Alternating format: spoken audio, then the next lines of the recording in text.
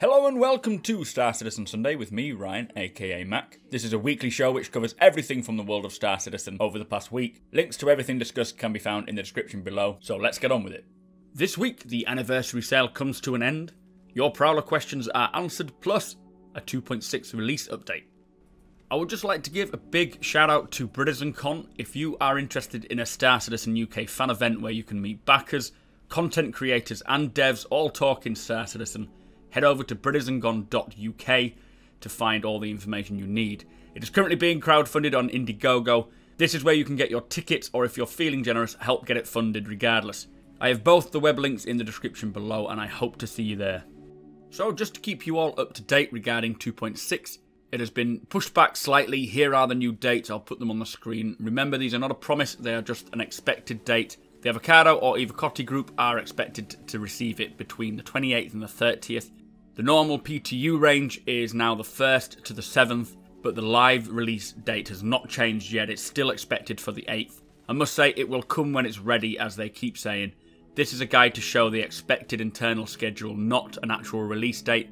I will do a more in-depth video on a weekly basis as this changes to keep you all updated, so do subscribe so you don't miss out. So this week's Around the Verse came from Frankfurt. We kicked off with the weapons team uh, talking about the missiles, how they are getting them polished and optimized, plus adding some new ones for 2.6. The FPS weapons team are working on a new manufacturer, which is Kastak Arms. We saw the first set of new concepts, and they're going into white box messages for these. We've got the Raider 50 cal handgun, the assault rifle, a sniper rifle as well, which is collapsible. They do look very cool. They kind of look like the Drake version of weapons. Very piratey. From there, we spoke about the multi-tool. Now this is made by Greycat, who also make the little buggy. It is about the size of a pistol and it's more of a power tool, so you can swap out the modules on the front. Current state, they have two modules. The first one is a cutting laser or lance to cut through thin metal or open containers. The second is a welding tool to patch up damage or repair objects. There will be more modules coming later, they didn't specify what, but they also want to put a mounted display on it, which they said is coming soon. After that, they spoke about the grenade. So we have the Mark IV grenade, which is a Behring grenade. This is your typical frag grenade coming to 2.6. Later in the Persistent Universe and Star Marine, we'll have these other ones. We've got a radar.net, a DS12, an EPS, a PM3, and a CR7, which are incendiary, cluster, EMP, and radio distortion. Some pretty cool grenades there, but we've only seen Behrings, I'm sure the manufacturers will create their own designs. After that, they spoke about level design. Uh, the modularity system they have for outposts is coming together well, plus they are working on space stations. We got to see a little cargo depot there, very cool. They are focused on usables and character interactions for both player and AI, so interacting with the environment, not just the player, but the ambient AI as well. They're also expanding on creating new ecosystems, and we saw a few videos during this point where we saw a video of a mining pit ecosystem for Hurston, and improved procedural object scattering for ground cover, plus improved cloud layer as well. All looking pretty cool. In AI, they are working hard on the subsumption system, getting additional behaviours, plus pushing combat further. They said they hope to have something to show for next update from Frankfurt, which will be in about a month's time. Most valuable post this week went to Xeron for his Vengeance of the Damned cinematic, which he said that there was about 80 people working on it. I'll put the link below in the description, definitely worth watching. And then the behind the scenes this week was looking at Star Marine. Obviously, we saw it for the live stream. Todd Pappy just talked about how it came from IllFonic to now. They've had a lot of adjustments to do because of IllFonic's didn't put it up to the level they wanted it. Star Marine is meant to be the precursor to the Persistent Universe, just like Arena Commander is for Flight. It's a building block. Current 2.5 is very basic. 2.6 will have more built up, so you've got things like vaulting, mantling, cover, grenades, melee, just to name a few, there's a lot more. In the future, they will be adding more gadgets. The breathing and stamina system will be further fleshed out as well. In terms of recoil, they say they want to get animation more involved. You've got body, facial, and then procedural, so this will so this will differ depending on the type of recoil or your, your whatever weapon you're using. And they also said that they want to get it so that the animations feel and look right. He also mentioned about the two different throw modes for grenades. You've got underarm and overarm. These are selectable depending on whether you are looking above or below the center line of the screen. They want to sort of expose it to be more customizable so you can hopefully adjust how far up you need to be looking for an overarm compared to how far down you need to look. They will work on that, see how it feels. You can cook grenades as well, so be careful. Apparently they've got a large blast radius, We also got to see a little early evening race in Ellis. I'm not sure if this means that they've got procedural planets set up for Ellis system, we'll have to wait and see, but it looks very nice anyway. So they did a little deep dive on the levels and modes of Star Marine and how they sort of flesh them out. They start with an idea and then flesh it into white box, and then they start playtesting it for their straight lines, the choke points, all the metrics, etc. This minimises the rework later on, plus gets balance and fun into the game as early as possible. Art and narrative then take a look at it and start treating the spaces to help with design and making it feel real. Afterwards, the map begins to look quite realistic. They have visual boards for the levels as well to give feedback on what needs to change where.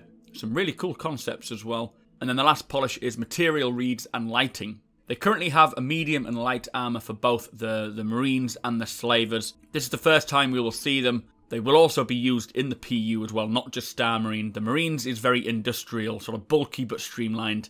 They do want our feedback as well. They say it's a community backed product. They can't do it without us, so please participate. Anyway, that was around the verse. Let's delve further into it in Reverse the Verse. So the first chap we spoke to in Reverse the Verse is a, a guy called David, who is a weapons artist. He works with a team of four.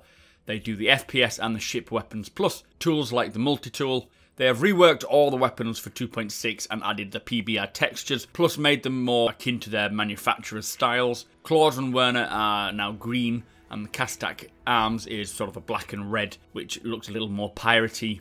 They use also a level of details as well for weapons. So if you can get closer to the gun, you'll begin it'll begin to look better. It's not too aggressive, so things aren't going to pop in when you start getting closer to someone holding a gun. He says the first LOD will disappear at about 3 to 4 meters, but you cannot tell the difference. There will be a variety of sights. They have an attachment system which allows you to change scopes, lasers, grenade launchers, all sorts of stuff. Weapons will also have damage and wear states as well, so sort of wear and dirt will appear on your weapon over time, which is just awesome. Someone asked about a flamethrower. He said it wouldn't work in space, so that's probably a no-go. Uh, also, in terms of alien weapons, what are there? And they say the Vanduul have had their first weapon concepts. They didn't show us anything, unfortunately, but I think they've got two weapons already. Now, in terms of heavy or explosive FPS weapons, they are working on a railgun, which is in the final stages now. I think we have seen this before. I'll see if I can find an, an image of it. And from concept to sort of finish, he says that the uh, the multi-tool took about three weeks to integrate into the engine, but well, from there, the, everyone else starts working on it and bringing it into a more standardized item. They will be adding modules for the multi-tool in the future, as mentioned. They have had an idea about making it into a weapon, but nothing confirmed. So we'll have to wait and see. The next guest was Todd Pappy, who is the design director. And he started off by just explaining that him and Chris and everyone knows that Star Marine is not to the level they want it to be yet. It's missing the stamina. It's also missing some technical, uh, some tactical elements, sorry, which will make it just feel much better. Current way to only punish the player is maybe adjust the spawn time, so maybe how in waves or maybe extend it to to wait longer, or even fully remove it based on and have it based on revives. All of these are missing as well at the moment, so they've got to be iterated on. One of the questions he was asked was, are there any areas that are destructible other than glass? And he says that there, there is going to be, but they have not got decompression in yet. They've got the rooms and atmosphere working, so it'll just be a, a bit of time before they implement it. After 2.6, stamina and oxygen will be getting worked on, so that shouldn't take too long. Next question is can we fight with our fists? And they say they have done a melee design. It's not quite right, but it's just currently like a simple punch and dodge so far, but that will get worked on also. Is there a plan for capture the flag mode or bomb mode for Star Marine? And he says there will be the modes coming. Eh, they want to also do a mode of um, like a mixture between Arena Commander and Star Marine. So you go to your ship, you, you you maybe have to land on another ship, take it out, an FPS fight in between. Maybe there's a derelict ship that you need to get parts to fix your ship up with. Nothing concrete yet, but they are discussing it. Someone else asked a good question, which is, is there going to be a class-based gameplay, like we see in Battlefield, where you have medic, sniper, heavy, or support, sorry, and so on and so forth. And he says once gadgets are in, it's kind of you outfitting your own team and deciding who takes what to play what role, rather than choosing a specific class with a set of weapons. So you, you will be able to play as a medic, but it will be up to you to determine, or be up to you and your teammates to determine who does what. Next question was Will EMP grenades affect energy weapons and HUDs? And he says the goal is yes, as well as environments. Can humans use Vanduul weapons? They say it's to be determined. There are two Vanduul weapons right now, and the plan is to currently not allow humans to use them, but it may change in the future. It's mainly down to metrics. The Vanduul are just so much bigger than a human, so it looks ridiculous. Next question is permadeath and Star Marine. Is there going to be such a thing? And he says not right now, but they have talked about it. Once Revive is in, then they can sort of make life matter more. Right now, it's just too punishing with all the glitches in the current in the current build. So you know, like maybe not seeing someone on your radar when they should be there. Until that's all sorted, they're not going to have permadeath. Question after that is, will there be a free-for-all area where you can take your time and explore with no score? And he says right now it's just elimination. You could play it alone, but I'm pretty sure like when it comes to me showing off the, the maps in Star Marine, there'll be a time limit that I have to do it in, which looks like seven minutes, but we can always just restart, can't we? Anyway, second to last question, is there going to be a friendly fire mode? So can you shoot your own friends? And he says, first of all, they need to, to figure out how to kick people for grieving. They need a, a grenade icon as well. They need a few bits just to get it ready so it'll work properly before they implement uh, friendly fire. But once they get those in, they'll flick the switch and there you go. So final question, what happened to the original maps for Star Marine? Will we ever see Gold Horizon? And he says we won't be seeing it in the way it was previously built. It doesn't fit the modular system, so it needs a lot of rework. It will not be the same from what we have seen before, but there may be things that, uh, you know, there may be a similar map like it. Anyway, that was Reverse the Verse, guys. Let me know your thoughts. So we had the first Esperia Prowler Q&A post, basically answering the questions that we have regarding the Prowler. First question being, will the Prowler's Gravlevs act similar to the Dragonfly, turning it into a ground vehicle of sorts? And they said, while the Prowler is not strictly a ground vehicle, the Gravlevs plates will allow for a similar mode of traversing planetary or very large surfaces. It'll also improve the manoeuvrability, giving it a slight better traction for both space and in atmosphere. Second question is Can we expect the same level of stealth from the Esperia model compared to the original Prowler? Does the reproduction differ in performance in any way? And they say that firstly, the ergonomics and fittings were changed to allow humans to control the ship. Secondly, much of the avionics and some materials were updated to match the current technical standards. Originally, the Prowler was created quite a few centuries ago, so things have advanced since then. They haven't completely decided yet whether there will be zero differences between the two, but it's very possible that slight deviations in the signature, durability, and other factors will, will happen. So next question, why buy the Prowler over the Hoplite or the Redeemer? And they specify that the Prowler is built for stealth deployment and emergency extractions. Each ship will have its strengths and weaknesses and will depend on your playstyle. The Prowler is a very dedicated personal carrier for its size compared to the other two. It will also have the handling edge, whereas the Redeemer and the Hoplite are more considered for ship to ship combat, being a gunship and fighter. So, next question it says that the Prowler is fast. What is the speed of the Prowler compared to the other ships? They say the low acceleration rates with the high SCM speed will help it to stay stealthy, but you can boost for exceptional acceleration when stealth is no longer concerned. Next question Will the Prowler be modular, or is it solely for dropping and boarding? Now, they say that like every ship, you can swap out areas like avionics, thrusters, power plants, weapons, so on and so forth. However, the Tevarin did design it to be a dedicated armoured personnel carrier or dropship first and foremost. Some ships are very modular, whereas others are specialised. It's all just part and parcel of Star Citizen. Question after that What type of travel range will the Prowler have? They say it's a short range craft, more akin to a landing craft, so think of the beach invasions. It's meant for assaulting and boarding, not long duration or long distance patrol, but it can be fitted with a jump drive and is capable of quantum travel, but it is designed to operate alongside a fleet. So, will the Prowler have room or racks to store extra weapons, ammunition, or explosives for the boarders? And they say absolutely. They say with the Prowler, it is understood that in many cases the troops may need different equipment depending on the job.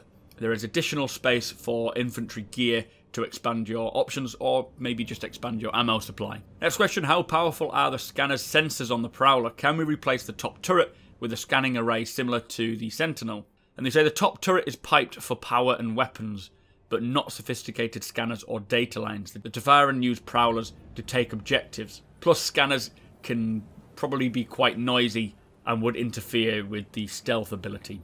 Next question Can players use weapons like the sniper rifle from the Prowler? And they say indeed they can. And then the final question for part one is Is it possible to fit a Dragonfly inside the Prowler? They say it's not fully determined yet. They would advise against expecting it, but they say the interior is still subject to further implementation. Anyway, I hope that's cleared up some of your questions. Let's move on to the next post. So jumping straight into the Prowler Q&A part 2, Will the 2.6 loaner be a hoplite? Yes, they said they will assign the hoplite as a loaner for anyone who has purchased the Prowler. Second question is what is meant by its wide variety of defensive countermeasures at the ready? And they say it's meant that the Prowler will have a full range of countermeasures, which includes flares, chaff, and decoys. Third question If the power or shields fail with when the air shields are in use, will it cause decompression? And they say yes, losing your air shields while in space will have the same effect as a hull decompression. The cockpit, however, is fully sealed and can be flown despite damage to the barracks area. Does it have a bed or a toilet? Now they say it currently doesn't, but they are still configuring the interior. There is a ready room behind the cockpit which could be used for this purpose, but it's maybe better to be saved for an area to equip armour and get ready. Next question Can the Gravlevs be reversed to attach to a ship? So, kind of act like a magnet. They say they are still developing the systems needed for ship boarding, but the intent is the Prowler will be a key boarding ship. They may use this technique, but they don't want to promise until the exact details for boarding system is further fleshed out. Question after that is Will we see the one way glass on other ships? And they say they are treating the glass as an exclusive to Tevarin ships for the time being. It is part of the hull rather than an individual component, but that doesn't mean that they, they will be the only ship using it. Next question Does it have docking capabilities? And they say ship to ship docking, no, it doesn't. Any more details regarding the phalanx shield? And they explain that the Tevarin style phalanx shield is intended to be on the high end of rewarding skill in shield management, but be even more skill reliant than the normal shields. It's advisable having a dedicated crewman working the shields, that's when you'll get the most out of it. So, second to last question Will it ever be possible for boarders inside the Prowler to EVA before getting to the capital ship and maintaining velocity? Now, they spoke to John Pritchett, who is the physics guy, and he says that the current EVA friction is a bug. So, when you jump out of your ship and you come to a stop, that is a bug. Obviously, this is not realistic to, to physics in space, so it will be addressed at some point. Boarding a ship this way does not mean it will be easy. They are interested themselves to see the good ways of boarding ships and under what conditions, so it's still being worked on. Final question Does the UEE use any of the Tevarin themed ships officially? And they say that the UEE dropships are generally provided by the contractors, which are with Aegis or Anvil, plus other suppliers of equipment. That's not to say that the Prowler is not utilised in training purposes and for special operations. It is not used on a massive scale though. So, all week long since the anniversary livestream, there has been a sale for each manufacturer and yesterday was the grand finale where you could pick up any of the previous ships offered. It was presented in a great series of little videos called Galactic Tour. Do check the Star Citizen YouTube channel for all of these. There was about seven or eight, maybe nine in, in total, all worth watching. Also, this week we had a clean shot post regarding the controversy within the Intergalactic Aerospace Expo.